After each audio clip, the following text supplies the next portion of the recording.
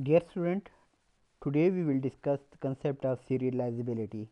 In last video we discussed concept of concurrency control. We discussed lost update problems and inconsistent read problem, uncommitted dependency problems. Today we will discuss the concept of serializability.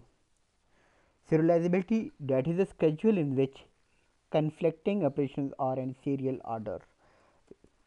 We have a schedule in which? Conflicting.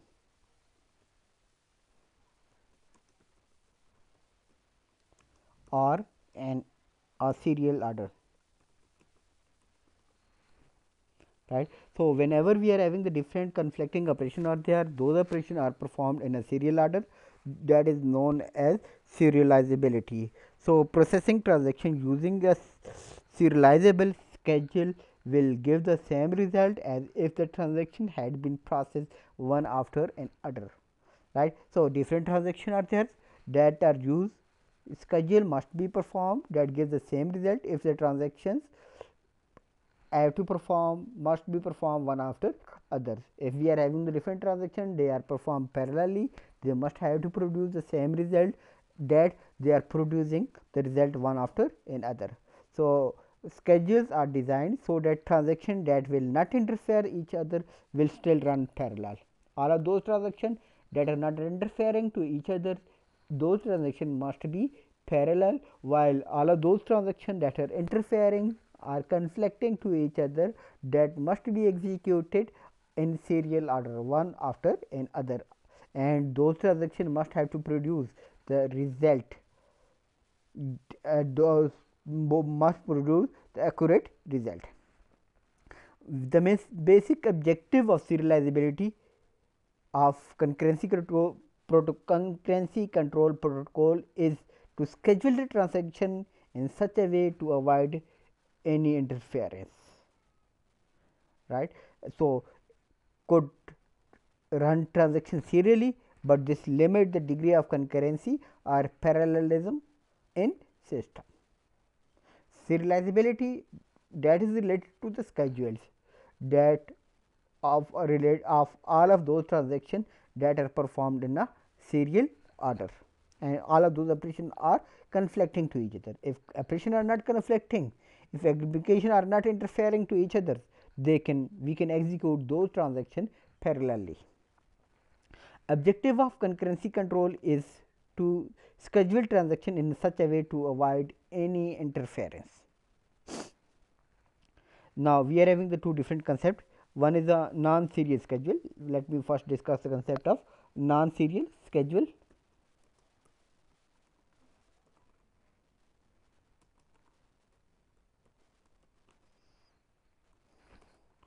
Schedule where operation from set of the concurrent transaction are interleaved mean objective of serializability is find non serial schedule that allow transaction to execute concurrently without interfering one another mean all of those transactions that are not interfering the main objective is to find all of those inter transactions that are not interfering to each other right?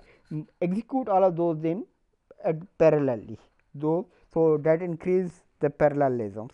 Non serial schedule that identify all of those transactions that user may be able to execute concurrently. At the same time multiple user can perform the transaction at the same time without interfering with each other. Or in the simple wording we want to find the non serial schedule that are equivalent to some serial schedules right? I mean if all of those transactions are executed at the same times right? And those if those transactions executed one and after are in a serial order must produce the same result. In both of these cases. If transactions are executed parallelly concurrently and are those transactions that are executed one after others in a serial order right both must produce the same result.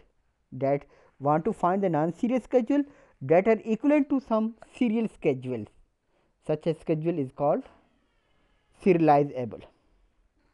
And serializable ordering of read and write is very important. Order of read and write is very important.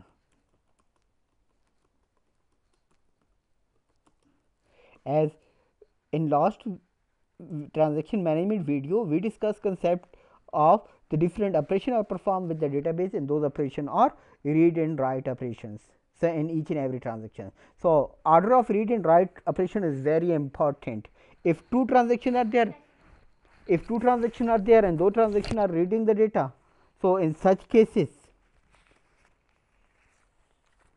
they do not conflict to each other.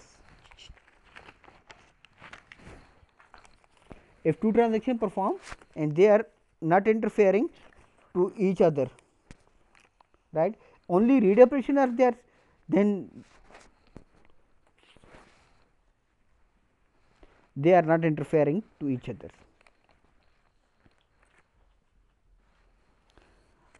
right? If either one transaction is read or write right? And both of these transaction are performing on the separate data items they are not conflicting to each other order is not important. Just only reading if different transaction are there and those transaction are reading the data order is not important. One only reading the data order is not important. Only read operation on data we see that order is not important one transaction is reading data, two transactions are reading data or more transaction are reading the data. Order is not important, but when we say that like one transaction read and another is write the data and both of those are reading and writing are on the different data items. So, when data items are different, if two transactions either read or write completely separate data items, right? Read and write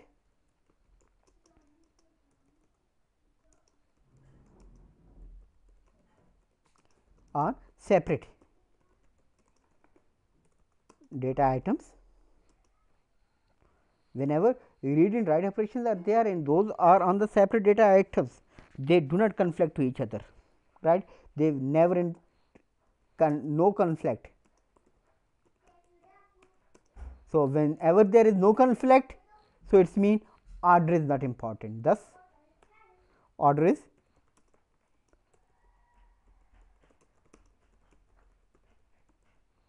important. First we see that one transaction all of those transactions are reading the data. So, order is not important one transaction read and second one write the data and data items are completely different. So, order is not important, but when we say if one transaction write the data items and other read the data or write the data items right. So, and data item are the same.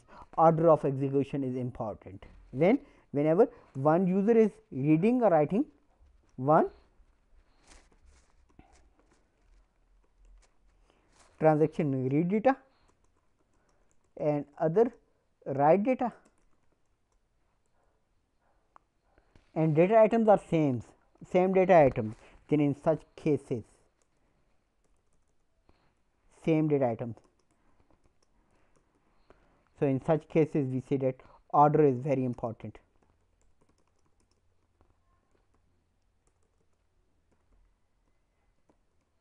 order is very important. So, that concept are related to the serializability. So, we must have to take care of different read and write operation in their order.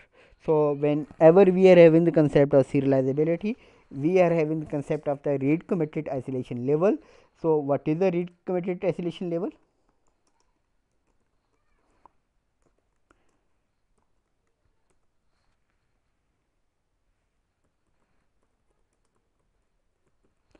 read committed isolation level sorry spellings are wrong.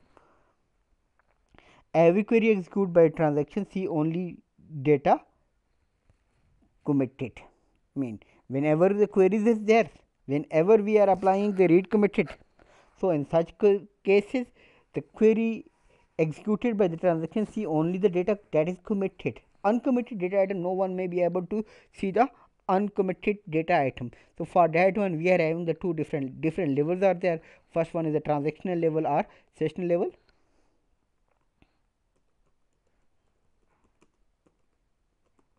or we are having the sessional level in transactional level we see that we in database that we are having in oracle so we have to write the command that that should be over here set transaction isolation level read committed. What we set?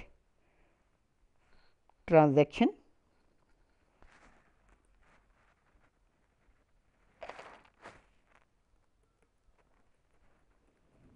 transaction isolation level read committed. So what we say when we write this one query set transaction isolation level read committed so it's mean that every query executed by the transaction can see only the data that is committed. Set transaction isolation level read committed and second one is a if we are applying it over here this uh, session level. First one was related to the transaction level. Second one is related to the session level. So for at all the sessions all the transaction that are executed only committed transaction will be uh, shown to the user. So alter session set isolation level read committed. So we have to for session level we have to use the alter session. Set isolation level read committed. Let me copy this one. Set isolation level read committed. That is the session level read committed. So, we are having whenever we are having the serializability we have to read committed isolation level and read committed isolation level we are having the two main level are there. First one is the transaction level and second one is the session level. And transaction level we see that every query at the transaction level executed by the transaction can see only the data that is committed. For that one we have to set the transaction set transaction isolation level read committed and uh, if we are having the sessional level for the sessional level or season level what we have alter season right? Uh, instead of sessional you mention it over here season. Set isolation level read committed. Next one we are having the if we are having the serializable isolation level. First one is the read committed isolation level and next one we have a serializable isolation level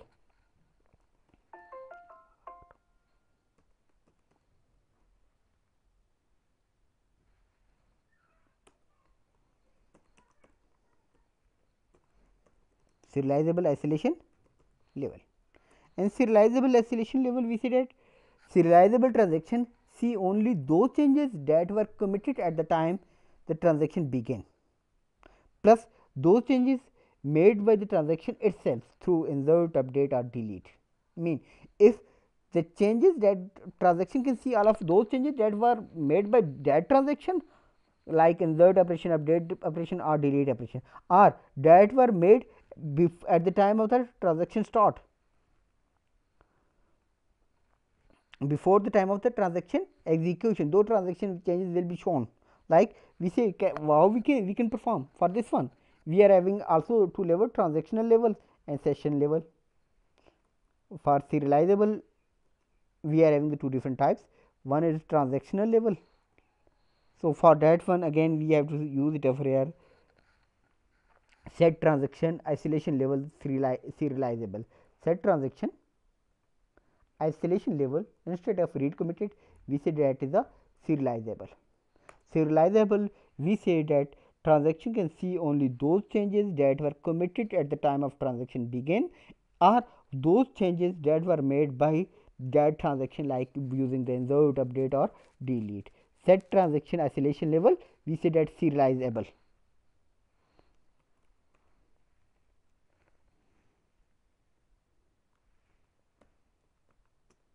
serializable. Now, we can apply it over here that is a SQL we can write this one query. So, that is the implementation for the serializability in Oracle. Now, if we are applying it over here uh, se session level. So, for that one we again we have to apply the alter session. So, how we can apply it over here alter session set isolation level serializable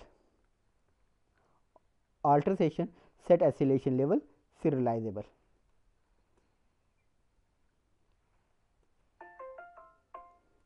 that will be used for the session level.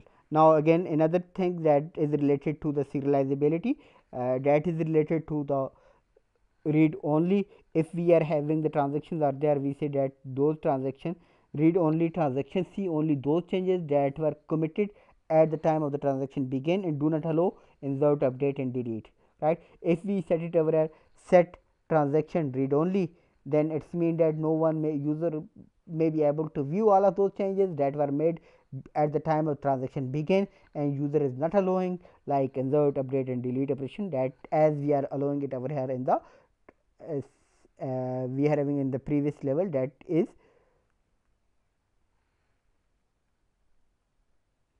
serializable serializable acceleration levels. And if we are having if we want to read only for the session level then alter session set acceleration level read only. So that will not allow to other user to perform the different type of the transaction. The all of this one is related to the serializability how we can implement. In next video we will discuss the concept of the locking and the different type of the locking two phase locking and other concept thanks for watching the video